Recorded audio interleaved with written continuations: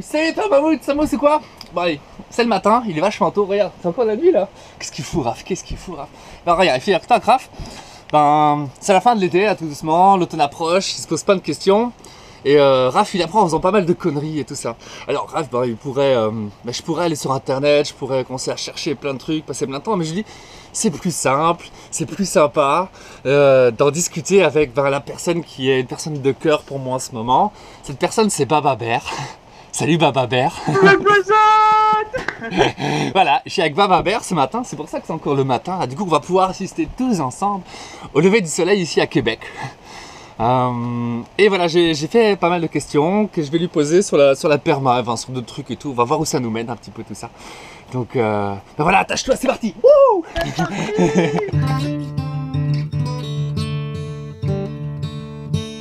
Baba Bear, comment tu vas? Bonjour, ça va très bien, merci. est-ce que, est que tu te présentes d'abord un petit coup? Ouais, alors moi c'est Baba Bear et j'ai la passion du vivant. Donc en fait, euh, et je pratique l'art de se dire oui. Donc comme tu fais toi des vidéos sur YouTube, etc., ben moi j'en fais plein. Et dans mes vidéos, je parle aussi bien de permaculture, de jardin, de d'épanouissement personnel, d'entrepreneuriat éveillé, de plein, de plein de belles choses. Et j'adore questionner. Donc voilà, je suis là pour, euh, pour jouer avec toi et, creuser parce que j'adore aussi les questions. Bah on va jouer alors. Allez c'est parti. Euh, donc comme je disais, c'est la fin de l'été. tout doucement, je vais devoir recommencer à préparer mes plates-bandes. Euh, et moi j'ai, j'ai eu un petit problème quand même cet été, c'est que arrive le printemps, c'est cool, le sol est vachement humide. Euh, moi, j'ai mis pas mal de carbone sur le sol. Du coup, j'ai une vie qui s'est développée. Tu le sol, il commence à être bien meuble. Tu vois les lombriques, tu vois euh, toutes sortes de vers de terre, tu, vois les champignons. Tu, vois que ça vit, c'est cool. Arrive l'été, il n'y a plus trop de pluie le sol devient pas mal sec. Et du coup, bah, je suis un petit peu ce que disait Hélène Ingham à ce sujet-là, c'est qu'il faut avoir un sol vivant. Pour avoir un sol vivant, il faut un sol humide. Mais mon sol, il est plus humide malgré le BRF que je mets dessus, malgré le paillis. Euh, ma question, c'est comment tu fais pendant l'été pour continuer à avoir un sol vivant ah, ah. Déjà, alors il faut, pour moi, je densifie énormément déjà. Donc en fait, plus j'ai de la photosynthèse qui est active, donc plus il y a des plantes vertes qui vont, qui vont faire de la photosynthèse tout l'été, plus ça va être actif, plus on va nourrir la microbiologie. Euh, ce qu'on fait souvent justement, c'est qu'il y a plein de plantes que tu vas voir vers juillet-août qui vont commencer à sécher. Et en fait, donc là, il n'y a plus de photosynthèse active. Donc ce qu'il faut faire, c'est trouver des plantes qui, elles, vont continuer justement leur photosynthèse tout le long de l'été. Donc plus j'arrive à densifier mon système, plus à tout moment, il y aura justement ces cycles qui vont se mettre en place. Maintenant, pour garder l'humidité, ben, je ne peux pas non plus lutter, effectivement, je n'ai pas envie d'arroser partout. Et je réalise qu'en fait, les, plantes, tout doucement, vont chercher de plus en plus profondément l'humidité. Et que même si c'est sec en surface, moi, je vais regarder la plante. Et la plante, même si des fois je vois que c'est vraiment sec, je la vois quand même en pleine santé. Et des fois, ben, même si elle baisse un petit peu les, les, feuilles, je me dis, ben, c'est un petit peu comme nous en plein soleil on va, on va calmer notre énergie, on va essayer d'économiser. Donc j'essaye de pas trop justement assister le, en arrosant, sauf peut-être la partie potagère. Ouais, je vois. Mais en fait, j'arrose pas non plus, j'arrose jamais. Mais mes, plantes n'ont pas l'air d'avoir soif. C'est plutôt un problème d'azote.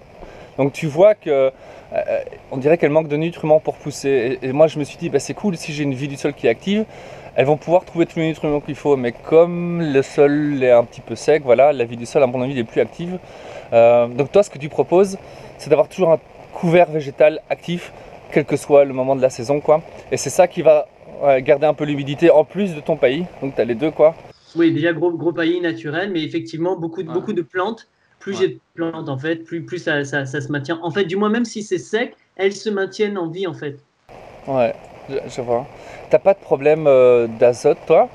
Bah, tu vois, quand tu mets de la paille, ok, tu, tu vas créer ben, une espèce de fin d'azote. Donc tu, vas, tu as le carbone qui, va faire se développer les mycorhizes, les champignons, qui elles, pour se développer, vont aller puiser tous les nitrates de ton, ton sol, tout, l'azote. Mais du coup, moi, mes plantes, elles ont une espèce de stagnation, tu vois. Et j'ai pas envie de commencer à mettre du compost et tout ça. Mais après, ça, c'est la, prochaine question. Hein. Mais, euh, ce que je veux dire, c'est qu'on voit souvent dans toutes les vidéos, les gens, même, même toi aussi, ils sont là avec leur compost. Mettez du compost, c'est génial. Mettez du fumier, c'est génial. Et ils amendent ils amendent ils amendent en azote. Euh, et là, je viens de regarder une vidéo de Conrad Schreiber qui explique que foutre de l'azote et donc des nitrates, parce que du, du, compost euh, qui est mûr, c'est des nitrates, ça pollue ton sol parce que ça ne tient pas, tu vois, c'est de l'azote volatile. Donc la nature, elle travaille sur l'ammonium et jamais sur les nitrates. C'est pour ça qu'elle commence à les supprimer. Pas forcément, pas forcément. Le... C'est pas que du nitrate en fait. Tu vas, tu vas aussi avoir d'autres formes d'azote en fait. L'azote, c'est pas que du nitrate. Donc tu as l'ammonium, donc tout dépend de la qualité de ton compost. Euh, du coup, c'est quoi que tu vises? C'est pas un compost mûr, c'est tu fais de l'humus, toi? Bah, tout, tout, dépend euh, pour qui. Pour un potager, il n'y a pas besoin de vraiment de faire de l'humus parce que c'est, ça brûle, ça, c'est, un bouillon de culture. Pour le, reste du jardin, le, le, verger et les plantes pérennes, oui, là, c'est plus de l'humus que je vais viser. Donc deux types de compost différents. Ok, euh, ouais, mais du coup, toi, tu fais un compost qui est mûr aussi, qui est donc qui a, qui a, qui a âgé pas mal, qui a eu le temps de maturer et qui a peut-être plus beaucoup de vie dedans Non, pour le, pour le potager, je fais un compost en 30 jours. Ok, tu fais toujours celui qui chauffe, ok. Voilà, le, celui qui chauffe, etc., qui va, qui va avoir beaucoup plus d'azote actif, effectivement, qui, qui, va balancer, parce que les, les, les, les légumes qu'on a besoin, ils ont besoin d'une grosse pousse. Tout le compost, pour que ce soit un vrai compost, il faut qu'il passe entre 55 degrés et 65 degrés. C'est-à-dire qu'il faut qu'il monte en température. Et ensuite, plus pour l'automne, c'est là où je fais des composts plus, avec une plus longue maturation. Et là, beaucoup plus de carbone et c'est ce qui s'installe, ce qui crée l'humus. Donc là, je vais bientôt lancer mes composts. Ceux-là, je vais, je vais, quand même les travailler, les retourner, etc. Et au bout d'un mois, je vais les laisser se reposer, donc travailler. Et là, c'est le champignon qui va commencer à, à faire son, son travail. Et celui-là, je vais l'installer au début du printemps pour les arbres, etc. Pas pour le potager pour le potager, je vais en faire un au début du printemps. Pour hmm. l'azote, justement, les, oui, moi, je, fais, je, fais, je, fais, des tisanes, moi, en fait, à mes plantes. Hmm. Donc, en fait, pour les, pour les, pour, les aider, en fait, voilà, des tisanes d'ortie pendant leur pousse végétale. Et ensuite, quand, quand c'est prêt pour, la, pour faire des fruits, etc., bah, c'est des, des, tisanes de consoude. Après, je fais plein de mélanges avec de l'aquilée, plein d'autres choses. Je m'amuse. En fait, j'aime faire des, des, des, petites recettes de sorcier. Tu, tu, peux expliquer comment tu fais ton thé, enfin ta tisane, ouais bah pareil, je vais, je vais juste choper la plante dont j'ai besoin, donc là, soit l'ortie. Alors après, je suis assez particulier, c'est-à-dire que je prends mon temps pour faire ma tisane. J'ai pas besoin d'aller euh, arracher tout, tout l'ortie. Je vais vraiment prendre les sommités, je prends mon temps, c'est un moment, euh, ouais, superbe. Je le mets dans de l'eau de pluie et je dynamise énormément. Tous les jours, je prends un seau. Et tu sais, je sais pas si tu as déjà vu les, les, les, dans, les, dans, les, dans les pays arabes où ils font, ils font le thé, tu sais, ils le font. Ouais, ils le font aérer comme ça. et je fais comme ça, je fais plein de. Je le fais oxygéner plusieurs fois dans la journée. Et au bout de 3 à 5 jours, je peux commencer à le donner. C'est-à-dire qu'en fait, par contre, je le dilue toujours. Donc, c'est quelque chose de frais, qui est vivant, qui est spontané. Après, moi, je fais des thés de compost, que j'aime aussi, plus particulièrement. Et là, j'utilise soit mon lombricompost, soit justement le compost, euh, le compost champignonneux que j'ai, que qui, a, fait tout, tout, tout l'hiver, qui a passé tout l'hiver. Tu, prendrais le liquide de ton vermicompost directement, tu veux dire? Non, non, non, je prends le compost lui-même. Tu prends le compost que tu laisses dans un petit sac ou quoi là? Je prends de l'eau, j'ai réactive, je, je nourris un petit peu plus et j'oxygène. Ok, euh, c'est pas mal le mode, mode d'oxygénation parce que j'avais essayé avec un bâton, tu vois, mais je trouvais que c'était pas terrible et ça puait quand même assez vite, quoi, tu vois. Ouais, c'est ça. Donc là, là en plus, moi, ça me fait une petite, un petit moment, une petite, danse, une musique, et effectivement, ça, ça remue beaucoup. Ce que j'aime avec ça, c'est qu'aussi ça broie énormément toutes mes feuilles. Donc ça me, ça me rend, ça me fait des micronutriments en fait, ça me le, ça me le hache et quand, quand je vais le déposer, c'est vachement plus assimilable directement. Quoi, le fait de le mélanger, ça te les broie?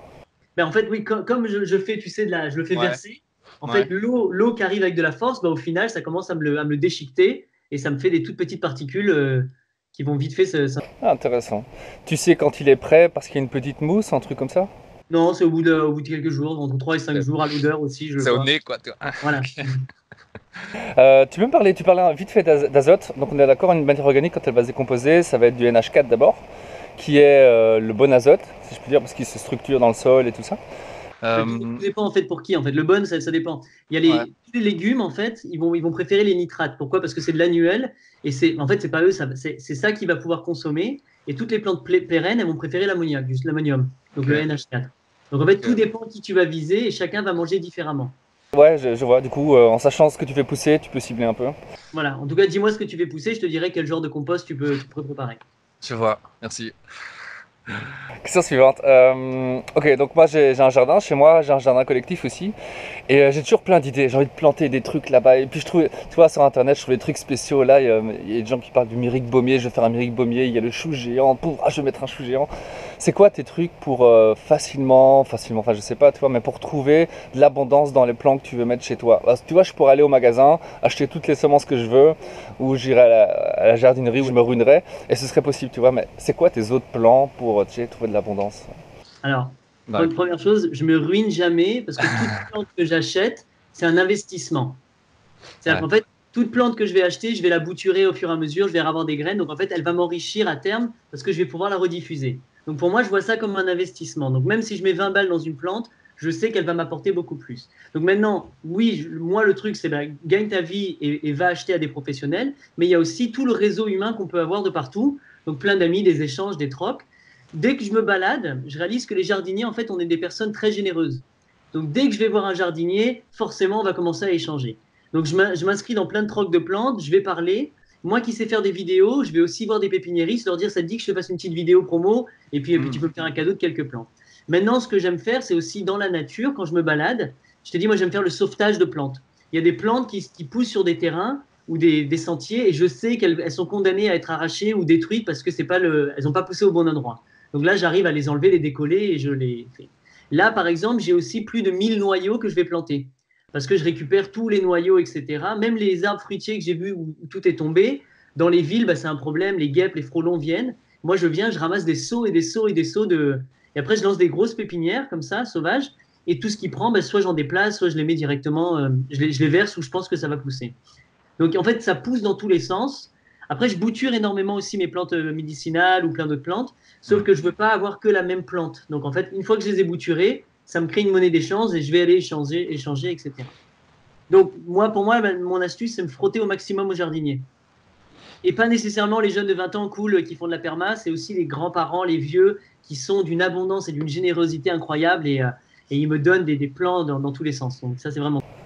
Tu les abordes euh, dans le don alors d'abord? Tu parles souvent que toi tu viens en donnant d'abord et après ils sont tellement contents qu'ils veulent aussi euh, tu vois, échanger. En fait, je vais toujours proposer un service. Par exemple, là, il y a un petit vieux qui, je vois, il ramasse tout le temps ses feuilles, il les met dans un sac poubelle, il va les emmener à la déchetterie. Et là, j'ai été le voir, je lui dis, bah, écoute, si tu veux, moi, je peux te les prendre, je vais les récupérer. Il me dit, bah, tu fais quoi, du terreau? Je dis, ouais, je fais du compost, tout. Et de là, on papote. Et je lui dis, mais si tu veux, moi, je peux ramasser tes feuilles. Il me dit, non, non, c'est mon plaisir, je fais cool. Et donc, le fait que je suis venu lui, lui débarrasser de ses. Donc, en fait, je suis venu prendre, en fait. Mais à la mmh. base, c'est un don, c'est de l'aider. Et là, il me fait visiter son jardin et euh, c'est incroyable ce qu'il donne. Tout, ils ont envie tout de suite de donner. Après, j'ai pas peur de demander aussi. Comme je suis très curieux et que je pose plein de questions, et eh ben en fait, il y a un passionné qui parle à un passionné et tout de suite, on, on est dans une générosité réciproque.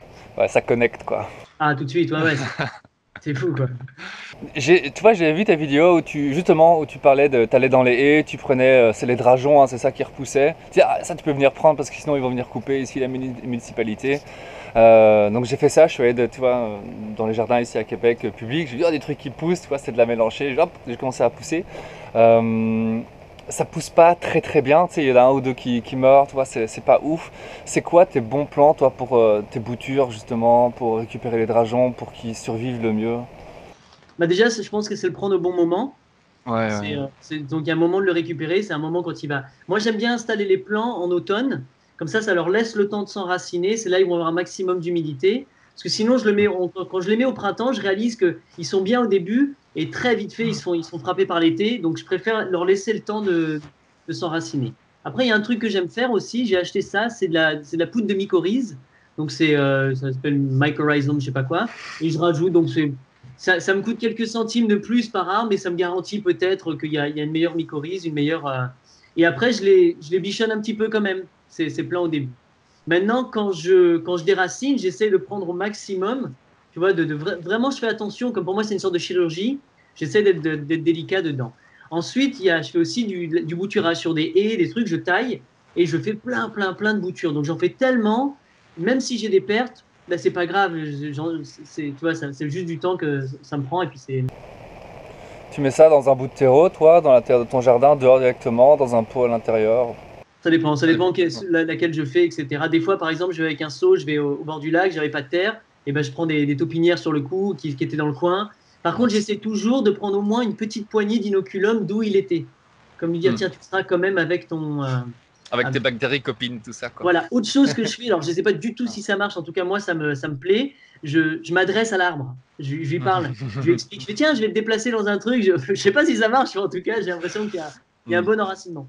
T'as vu ces, euh, ces, vidéos où euh, d'un côté ils font des insultes à un arbre et puis ils ont des belles paroles à l'autre arbre et il y en a deux qui meurent, tu vois. Donc c'est peut-être. Je suis pas sûr, mais peut-être qu'effectivement il y a quelque chose. De toute façon, je me dis, si plus moi je donne de l'amour et que je, je Ah. parle positivement, bah, plus au moins moi, dans mon corps à moi, je, suis- je me sens bien. Moi, je vois. Ça reste du vivant, hein, tu connectes quand même. C'est pour ça, c'est ça. Le- Ça me fait penser, l'autre jour, on se baladait en, en forêt avec Peter, et puis euh, je voulais lui apprendre à parler aux arbres. Alors je dis, regarde, c'est un bel arbre, vas-y, touche-le, prends-le dans tes bras, tu vois, il le prend dans ses bras, et je lui dis, euh, il est où le cœur de l'arbre? Et il me dit, ah, il est dans la terre, tu vois. Donc, tu vois, je, je trouvais ça beau, quoi, tu vois, que naturellement, en parlant à l'arbre, tu vois, il avait le, le- le cœur contre, contre, contre l'arbre, il disait, ah, le, le cœur, il est, il est dans la terre, il est au fond, quoi, tu vois, Ouais, dans les racines. hein, tu vois, Je, intuitivement, je- euh, je trouvais ça génial. super. Beau. Bon, euh, comme je disais aussi, on est en automne. Euh, ça va être le temps bah, de fermer un peu tes plates-bandes. Tu fais quoi, toi, pour l'automne Toi, pour les couvrir, pour les protéger de l'hiver, tout ça? En fait, pour, moi, en fait, il y, a- une idée c'est- qui, était m'est venue. En fait, c'est, je réalise que le repos, en fait, c'est peut-être pas, c'est peut-être pas ce que selon le, sol a besoin. Et c'est pour ça que moi, en fait, je mets des couverts végétaux. Donc, j'adore planter. euh, j'ai, fait plusieurs tests. J'ai fait des tests où justement, je laissais, je, remettais une grosse matière euh, carbonée euh, sur comme un gros paillage, et d'autres où justement, je replantais un mélange, mes mélanges, ce que j'appelle mes kits de régénération. Ça fait des années que je développe. J'ai plus d'une trentaine de variétés que je mets dedans. Et en fait, c'est incroyable ce qui se passe, ça explose sa vie. Pourquoi? Parce que je me dis, en fait, tout l'hiver, je permets encore à la photosynthèse de continuer. Donc, dans mes plates, dans mes plates-bandes, soit je fais de la photosynthèse, c'est-à-dire que ça continue à activer et qu'après je pourrais couper au printemps pour recoucher, soit je, soit je laisse justement en repos. Et bien, en fait, je, je suis en train de voir la différence de plus en plus. Donc là, j'ai pas assez de recul.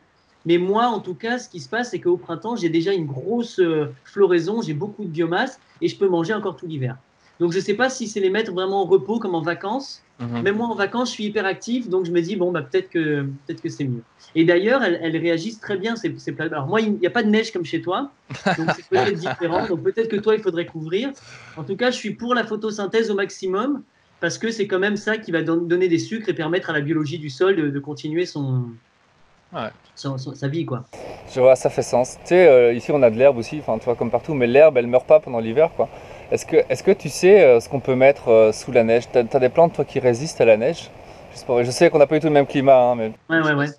Je, non, je pourrais pas, j'ai pas bah, après, moi, il y a, même quand il neige et qu'il gèle, j'ai quand même plein de choux, plein de brassicacées qui, eux, survivent, etc. Tous mes graminées, par exemple, je fais plein de céréales, de l'avoine, du blé. Ouais. Il y, en a aussi dans mes mélanges qui vont mourir avec le froid, mais tant mieux, ça me refait une, de la matière organique. En fait, ça me crée un mini. Donc, en fait, mon mélange, j'ai fait exprès pour qu'il y en a plein qui meurent et il y en a plein qui vont survivre. Donc, ça crée un paillage naturel sans moi avoir à essayer délicatement de, de faire ça, en fait. Ouais, je vois ce que tu veux dire. C'est cool. Euh, tu peux me parler vite fait des engrais verts Toi, c'est un domaine que je connais pas très bien encore, donc je sais qu'on peut mettre des engrais verts à l'automne ou au printemps et qu'il faut les couper avant que ça monte en graines, mais tu, tu peux en parler un peu. ouais. Bah, ce que, justement, c'est ça. Donc, mes, mes couverts végétaux, mes kits de régénération. Pour l'instant, moi, quand, quand je les, quand je les balance, c'est au début pour laisse-lui faire finir son cycle. Donc, ils vont monter en graines, tu vas récupérer ces graines. Et à terme, maintenant que j'en ai assez, bah, je, je les utilise comme des engrais verts. Donc, je vais les planter vers l'automne. Alors, pas trop, trop tôt non plus. Euh, septembre, octobre, jusqu'à jusqu'à novembre, moi, je peux. Ils vont monter à partir de décembre, janvier, ils vont stagner à une certaine hauteur. Là, ça va rester, ça va végéter, et ensuite, ça va réexploser très rapidement au printemps quand eux, ils savent. Et là, donc, ça monte très rapidement. Et ce que je fais, c'est soit, donc, sur certaines plates-bandes, je vais les couper très courts, reposer au sol, ce qui se fait que quand tu coupes la plante, elles vont renvoyer des exudats, elles vont, elles commencer à créer un choc, elles vont réactiver toute la biologie. Et là, comme je recouvre par-dessus, ensuite, assez épais, bah, j'ai plus qu'à ensuite à venir écarter, planter directement dedans. Donc pour moi, c'est et j'active le sol et je, je recouvre avec la même matière organique qui est dessus. Tu, tu parles de ça, ça me fait penser. euh, moi, j'utilise du BRF parce qu'ici, la paille, il n'y en a pas trop à Québec. Euh, mais du coup, quand je veux semer, c'est super chiant. C'est- quoi des trucs, toi? Moi, j'en- moi, j'enlève en fait. Quand, ça dépend ce que dans, dans mon potager. Ouais. Maintenant, je, donc, je, je travaille avec le pit pool. Donc ça, je t'en reparlerai. C'est comment, comment mes, mes poules ouvrent mes potagers en fait à chaque fois. Et donc c'est toute la matière. Donc je vais dessiner mes plates-bandes. Je vais, je vais enlever toute la matière organique. Je vais la composter. Et une fois que c'est prêt au bout d'un mois, je rétale le compost. Donc une, une- une couche de 2-3 cm voire plus sur toute la plate-bande et je plante directement dedans. Donc mon compost me sert de, il va venir activer le sol, mais il me sert aussi de mulch. D'accord Comme c'est noir en plus, ça va chauffer beaucoup plus rapidement. Il y a, il y a très très très peu d'herbes qui vont, qui vont pousser dedans et boum, ça atterrit directement dedans. À quel moment tu fais ça? Euh, juste au printemps, quand, quand- avant là, donc là quand je rentre en fait, euh, tu sais moi, quand, quand il fait très froid pour nous et toi, ça sera peut-être euh, ouais. très bon. Mais moi, je pars, je pars dans d'autres pays comme le Maroc, je pars au chaud, en fait, faire continuer euh, à enseigner la permaculture. Donc, quand je reviens, c'est mars. ça me laisse un mois pour faire mon, mettre mes composts. Donc vers fin mars, normalement, si tout va bien, mars-avril, j'étale tout mon compost dessus. Et là, je commence à planter les premières, euh, les premières comme les fèves, les machins comme ça. Et sinon, toutes les, semis que je fais en godet, j'ai plus qu'après les déposer carrément sur le compost et ça s'enracine directement. Tu fais des semis directs aussi? Ouais, beaucoup de semis directs, jamais je préfère. Ouais, c'est vrai que quand tu enlèves tout, c'est plus facile. Et puis tu remets une couche, tu mets ta couche de compost par-dessus, alors légèrement. Et puis... Voilà, en fait. Donc en fait, je plante sur le compost au maximum. Maintenant, ça, il faut, il faut... le problème avec ça, c'est qu'il faut générer beaucoup de compost. Donc moi, il n'y a pas de compagnie qui peut en vendre ici. Donc ce que je fais, je le crée moi-même, et je le crée avec la matière sur, place. Plus comme c'est en vers mars-avril, c'est là où je vais aller récolter de l'ortie, de la consoude. Donc tout est. Maintenant, il y, y, a des cycles qui se mettent en place, et j'ai exactement ce qu'il me faut quand il faut. T'as suffisamment avec ton espace à toi ou tu dois aller chercher à l'extérieur beaucoup? Au début, ouais, j'allais prendre beaucoup de paille, beaucoup de foin, beaucoup de choses comme ça. Je continue toujours parce qu'en fait, c'est de la paille et du foin que les gens jettent, qui est, de la mauvaise paille pour eux, donc ils me le font à très bon prix. Donc je continue. De toute façon, je, peux gaver encore mon sol euh, pendant, très longtemps. Euh, et comme moi, je fais des gros paillis pour mes poules, donc mes poules, elles vivent sur vraiment des, tas comme ça, et ben je jette perpétuellement et ça, fait un, super mulch. Et l'excédent que j'ai de matière organique dans mes, dans potagers, et ben c'est ce que je vais aller mulcher un petit peu partout euh, sur mes autres buts, mes autres plates-bandes qui sont pérennes. Ah, c'est cool. Tu peux, parlais des poules, tu peux parler un peu des poules, comment tu les utilises toi au potager, tout ça? Ouais. En fait, donc, déjà pour mes, poules, en fait, j'ai dessiné des potagers maintenant. Donc c'est des petits, euh, tout dépend de la taille que tu as envie de faire. Moi, ça fait du 40-50 mètres carrés. C'est des petits potagers qui sont grillagés. Autour, j'ai commencé à planter plein d'arbres fruitiers, des, des, des, des plantes grimpantes sur le côté. Donc j'entoure vraiment, ça fait une sorte de cage mais végétale. Et dedans, en fait, je mets mes poules. Donc je, moi, j'en ai que trois. Et je mets toute ma matière, donc tout là ce que je vais couper en automne, soit je le laisse sur place, soit je vais en ramener et je vais balancer dessus. Tous mes composts, toutes les choses que je récupère à droite à gauche, donc ça commence à faire un gros tapis. Elles, elles vivent dessus, elles sont perpétuellement en train de gratter. Sous cette couche, forcément, bah, il y a plein de biologie qui se, qui se développe, donc c'est protégé. Elles ont perpétuellement à manger, elles grattent, elles grattent, elles grattent à partir d'un moment, je vais les déplacer, les mettre dans un, dans un potager que je viens de fermer, et elles continuent, ça tourne comme ça, et c'est des cycles. Et en fait, elles sont constamment en balade. Donc en fait, après, je fais des lâchers de poules dans, dans la jungle que j'ai, mais elles m'aident à ouvrir vraiment mes potagers. Ah, je vois, c'est pas mal. Comme ça, tu laisses combien de temps ça dépend. alors, comme j'ai que trois poules, ça prend plus de temps. Mais là, je suis en train de développer des systèmes pour ceux qui font de l'élevage de poules et qui voudraient augmenter leur production. Et mhm. là, je vais pouvoir, ça va aller, ça peut aller très vite. Donc, moi, j'ai que j'ai qu'un demi hectare, mais je suis en train de créer des, systèmes sur plusieurs hectares. Et là, là, on va pouvoir tourner beaucoup plus rapidement. Parce que les, poules, c'est vraiment, enfin, c'est coriace, c'est vraiment féroce et ça, ça, ça, va très vite. Et la quantité de, caca, c'est incroyable aussi. ça enrichit énormément le, le, sol au même. je vois, on a quatre poules là ici maintenant, donc tu vois, je pose un peu la question sur ce que je peux en faire. Tu vois. Euh, euh, déjà, on disait que c'était bien de faire le compost dans leur enclos. Mais euh, ça m'embêtait un petit peu de, faire tout mon compost dans leur enclos parce que comme tu dis, elles vont venir manger toute la biologie du sol aussi, enfin une partie, tu vois, les, gros vers et tout ça. Alors que moi, je veux garder aussi des vers pour aller inoculer mes plates-bandes derrière. Du coup, toi, tu as quand même des vers dans, ta terre après, malgré que les poules soient passées? Ouais, ouais, ouais, bien sûr. Ouais, Après, le, truc, c'est que donc pendant, pendant, que les poules sont dedans, moi, je m'amuse, je fais des gros tas elle me les redémonte, je fais des gros tas, elle me les redémonte. Donc en fait, c'est des sortes de respiration, une accélération. Et quand je les sors, c'est là où je lance mes composts et là, c'est là où ça vient. Maintenant, pour inoculer plus rapidement, je vais en plus chercher dans mes lombricomposts parce que j'en ai d'autres et je viens mettre des poignées aussi. Donc dès que je, fais mes, dès que je lance mes vrais composts, c'est là où je viens chercher plein d'inoculums dans tous les sens pour remettre la vie. Et là, les poules, elles n'ont plus accès. Ok, je vois. Bah écoute, euh, là, ça fait bah, presque 20 minutes, un peu plus là. Donc euh, merci Baba. Pour une vidéo, c'est pas mal. Ah bah regarde le soleil se lève, tu vois. Génial, merci mec. Ciao, ciao, bisous. Bon, bah voilà les amis, c'était cool. Conversation avec Baba Bear, regarde. Tu vois, ah, tu vois, ah. Donc voilà, hop, euh, ben dehors il pleut. Il pleut, mais regarde, le soleil s'est levé. Euh, c'est une belle petite discussion. Moi, ça m'aide vraiment beaucoup d'avoir ce genre de discussion pour euh, bah, continuer à moi m'améliorer, continuer à améliorer mon jardin, euh, trouver quoi faire avec les poules, avec le potager, tout ça, toute la matière que je peux avoir ici dans le jardin et à l'extérieur. si c'est quelque chose qui t'a plu, ben c'est cool. On va se refaire ça avec papa. parce que moi, j'apprends beaucoup, c'est chouette, et donc j'ai continuellement envie d'apprendre et continuellement envie de discuter, d'échanger, de connecter. Euh, donc voilà, si toi ça te parle, ben écris des messages, écris des commentaires, pose tes questions. Moi je vais les noter, je vais les mettre de côté quelque part. Et ces questions-là, ben je vais pouvoir les reposer plus tard à Baba. Peut-être que même s'il y a pas mal d'engouement pour ce genre de, format, ben on pourra euh, en faire un live aussi à un moment donné. ben, on, va, on va voir quoi. Là, voilà, c'est le, le premier essai. On voit où ça nous mène. Et si ça te parle, bah viens, viens avec nous, viens connecter, viens discuter. Et puis on va, on va aggrader notre écosystème euh, permaculturel humain. Ah Allez, porte bien, sois heureux. Euh, j'espère que c'était pas mal intéressant pour moi. Pour moi, ça l'était, je suis très content. J'espère que tu l'es aussi. Et euh, on se revoit bientôt. Des bisous. Yo, ciao